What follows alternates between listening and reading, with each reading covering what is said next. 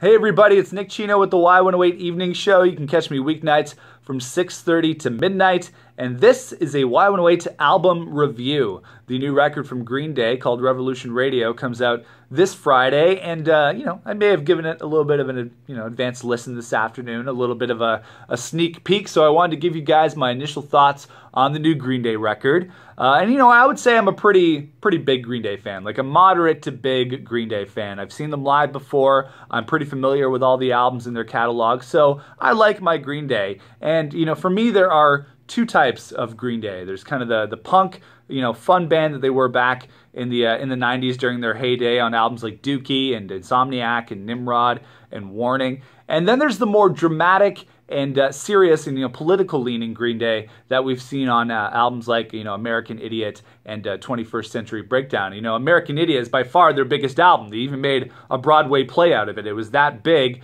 But uh, you know what? Like, even though I love that version of Green Day, I think I'm more of a fan of like the fun, you know, just you know, pop punk stuff that they've done in the past. I was a big fan of the album trilogy that they did in 2012 called Uno, Dos, and Tre. Like, I know a lot of people weren't really big fans of those albums, but I like them. You know, saw the band returning to more, you know, general songwriting, not really any political stuff. You know, they talked about a bunch of stuff, but it wasn't really political. Uh, you know, they experimented a little bit more. There's some different kind of tracks on there, you know, like Kill the DJ and Lady Cobra and those kind of songs. And, you know, I love it anytime a band puts out more than you know one album at once you know three albums of green day goodness i totally got into that i loved it uh, but with those three albums there was a lot of turmoil in the uh, in the Green Day camp. Like Billie Joe had some drinking issues. Uh, there was canceled tours. You know, they pretty much had to abandon the whole press uh, tour for those three records.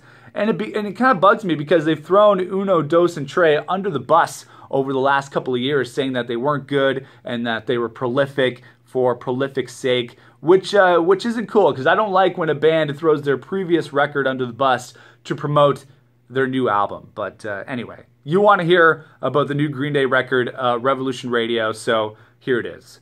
If you're a big Green Day fan, I have good news for you.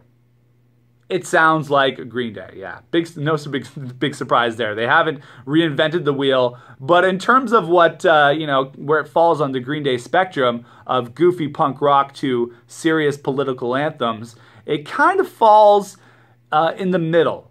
I would say leaning more towards the dramatic side, like from the opener, like Somewhere Now, uh, to the first single, Bang Bang, and songs like uh, Say Goodbye and Outlaws. Like, this is the more serious Green Day. And, you know, to be honest, the Green Day that sells, the Green Day that is more popular, at least over the last decade or so. But then there's still some old school uh, Green Day straight ahead punk stuff in there, like Bouncing Off the Wall, uh, Youngblood, and Too Dumb to Die. Like, I really like Too Dumb to Die. That's a great song. So there's something for, you know, every Green Day fan in there. Uh, in the end, Revolution Radio is a solid Green Day record. Like hardcore fans are going to dig it, casual fans are going to dig it. Uh, I think it was maybe a little bit of a disappointment for me uh, after all the cool stuff they did on the Uno Dos Tre records, uh, but that's just my personal prefer- preference. But in the end, I'm going to give it a, a solid 7 out of 10. But let me know what you think of the new Green Day record, Revolution Radio, when it drops on Friday. Once you've heard it, hop on Facebook, hop on Twitter at Y108 Rocks, at The Walking Nick. Use the Y app.